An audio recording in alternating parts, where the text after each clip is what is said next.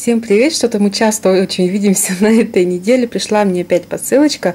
Купила заодно марочек под открыточки.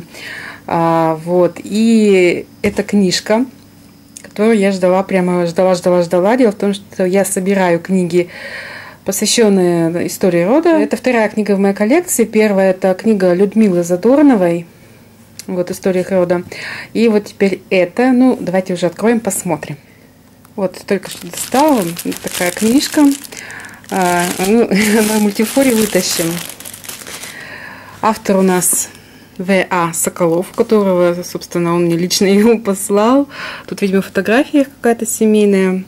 Вот, старообрядческие фамилии Восточного Подмосковья – История поиска и находок.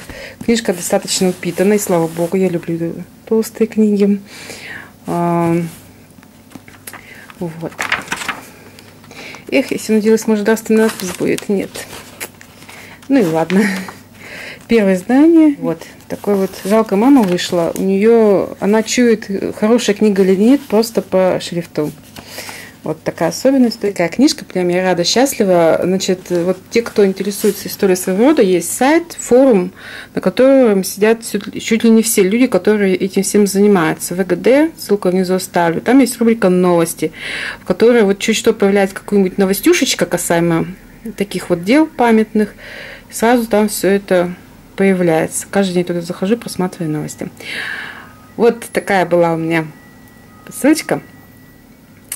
Да, удачных вам покупочек, хороших эмоций а, и до скорых книг.